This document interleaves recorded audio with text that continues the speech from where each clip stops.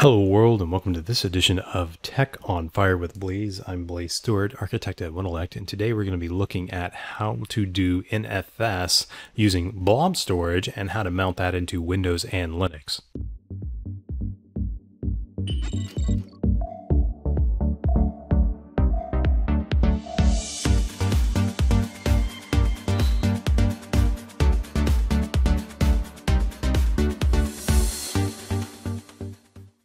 Hi guys, today we're going to be looking at how to mount an NFS volume from blob storage. This is a preview feature, but I think it's a pretty cool one. And I typically don't do preview features in my demos, but I wanted to look at this one because I thought it was kind of cool. It has a lot of potential to change a lot of things about how we use blob storage on virtual machines on Azure. Up to now, the only way that you could mount blob storage as part of the operating system file system was to use a technology called BlobFuse, and even this was restricted to Linux. You couldn't use it on Windows. So this ability to use NFS in blob storage is almost a game changer in many ways. I did a whole video on BlobFuse already, and I'll link that in the description below, but I really wanted to do this video on NFS, even though it's a preview feature, because I think this is a really game-changing technology, which will allow us to use blob storage in many new ways that we weren't possible before. In other words, we're going to be able to use blob storage in a lot of the ways that we use Azure File Storage for reading and writing things to blob storage, and it will come at a fraction of the price of file storage as well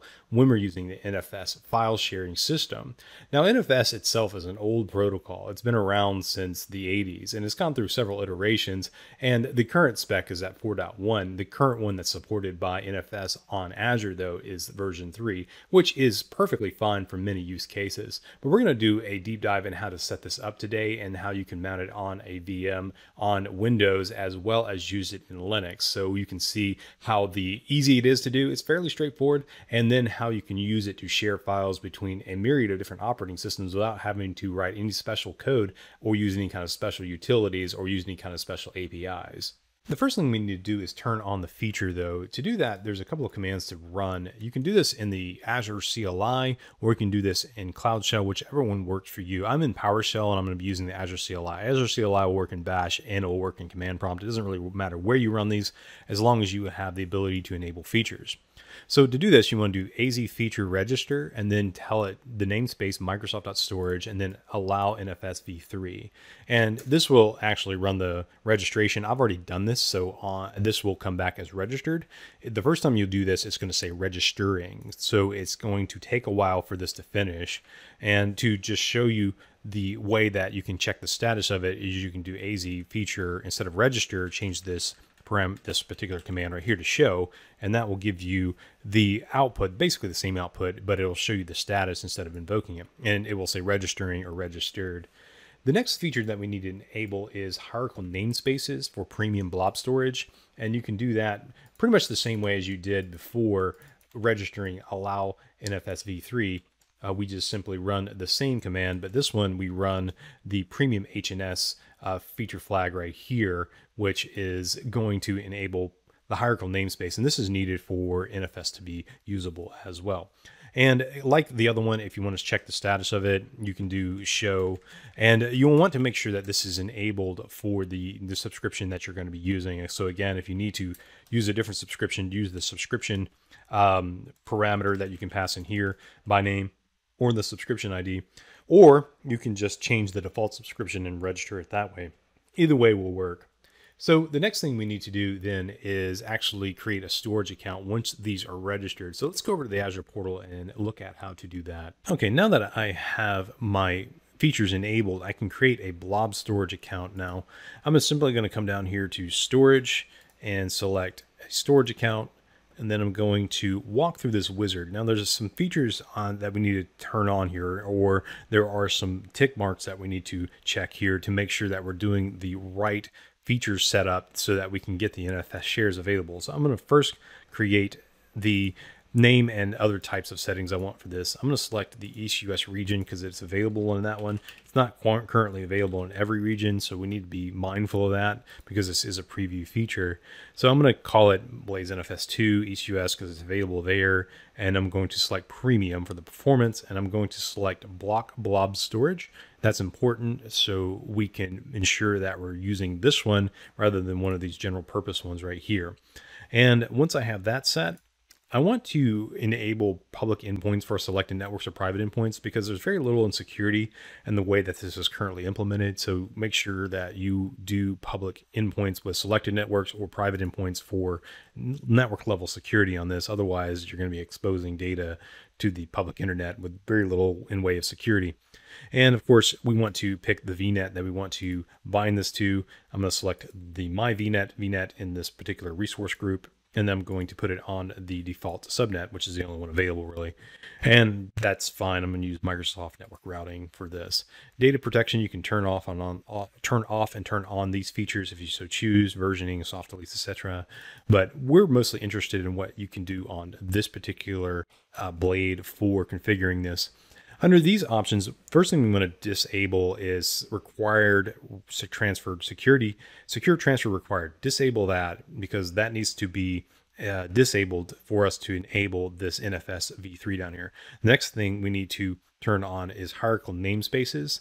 And that's something that we did just a second ago whenever we enable that feature. And then we can click on enable NFS v3. And notice what that's going to do is disable the ability to enable secure transfer required. Now everything is set up here and I can now use this for NFS after it creates. So let's go ahead and validate it and then create our storage account.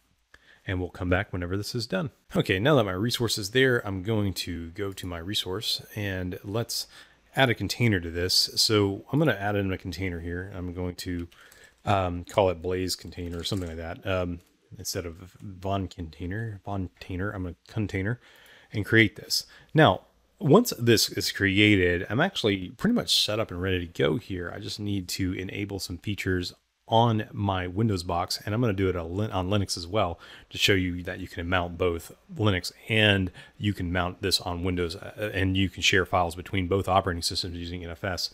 You could do the same thing with Azure Files, of course, but uh, this is blob storage. So let's go into our Windows box, and I'm going to show you how to set that up, and then we will mount this particular container inside of that Windows box. Okay, I'm on a VM that I have in the same VNet as I do my storage account. So the first thing I need to do is enable a feature on my particular Windows install here.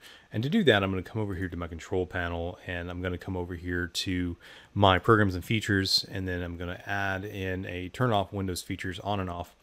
And then once this populates, scroll down and select NFS services. I've already done this. So you'll want to check client for NFS right here.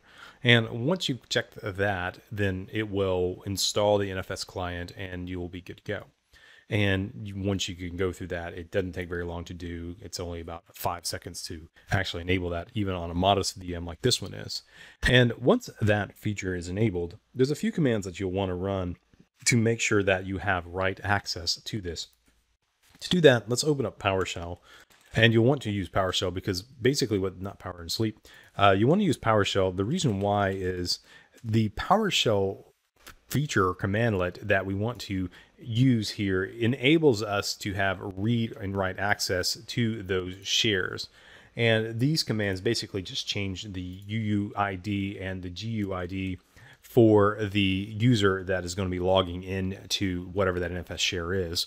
So the command you will want to do here is uh, in populate is this one right here, new item property, and then this is the path within the registry. And then you say dash dash anonymous UUID property type D word value zero. And I'll put these commands in the description below so you can run them.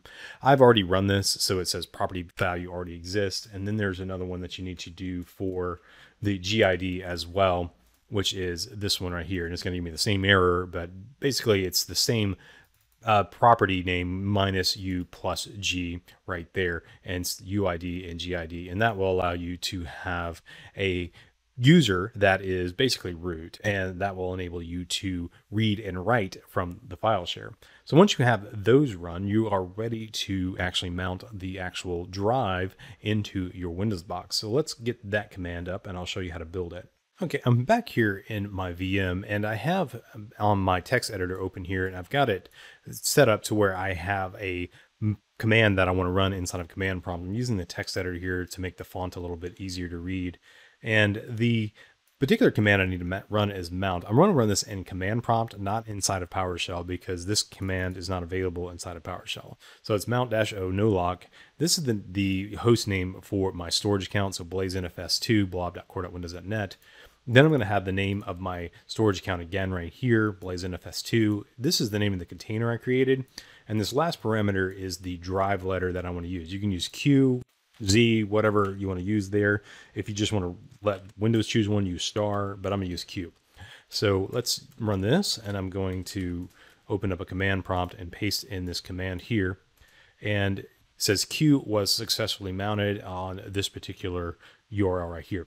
And let's just save this off right here onto the Q drive. And that's uh, just so I can say uh, that I can validate that I'm able to save something here. And let's put in uh, command.txt uh, on Q and save that. And if I go back to the portal, I should be able to see this particular file. But to be able to browse this container, I need to add in my local IP address. If I click on this, it's going to give me an exception or an authorization error because uh, the firewall settings are such that I cannot access this. So to fix that, I can come down here to firewalls and virtual networks and simply just add in my local IP address here and let that save. And now I have my ability to get inside of that particular container. And let's uh, make sure I save this again just for good measure. Okay, now that is good. And I should be able to see the command.txt. I can't actually download this because notice what it says here. The extension encountered an error provided by no provided no additional details. If I were to come over here and come to download, it would not enable me to do this because the API is not available for NFS enable accounts. Because this is using NFS, I don't have the standard APIs available to me as of yet. And this is still in preview, so you want to make sure that you understand that whenever you're doing this. And this isn't going to let me edit. It might. Uh, I've never tried this before. It doesn't look like it's going to, though. Um, and uh, not going to let me edit this either because the APIs again aren't enabled uh, for this particular type of account.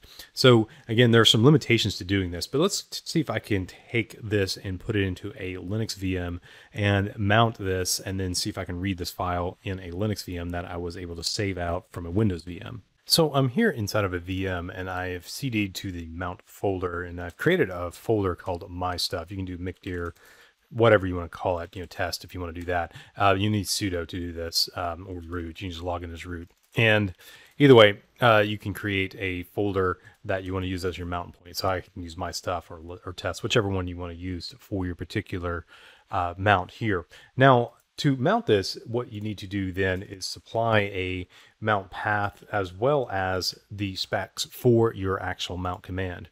In this case, I'm using something that looks a lot like what I did for my Windows instance, where I have mount and then I have no lock again here specified and dash O. And again, version three for the protocol and security is provided by the system. And here I have my storage account name. This is important here. So storage account name.blob.core.windows.net.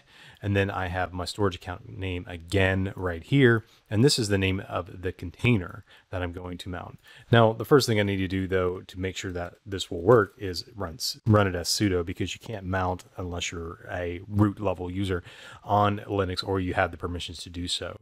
Um, so I'm going to run this and everything should mount up. Now, if all goes well, I put this in my stuff. I should be able to see that file that I created in my Windows demo, um, cd my stuff, not my stuff, and do an ls on there. And there's that command that I had in my Windows demo. Let's cat that guy just to see that we got it. So that's the actual command I used to mount it on Windows. So you can see that I have a working file share between a Windows and a Linux VM on Azure using blob storage to back it using the NFS protocol to basically act as bridge between those two. So this is like, like I said, a lot of potential for a lot of applications that are doing it in a more traditional manner, that are doing file shares in a more traditional manner, and don't want to have to use Azure File Store. They can use Blob Storage to back a lot of the kind of workloads that they might be running.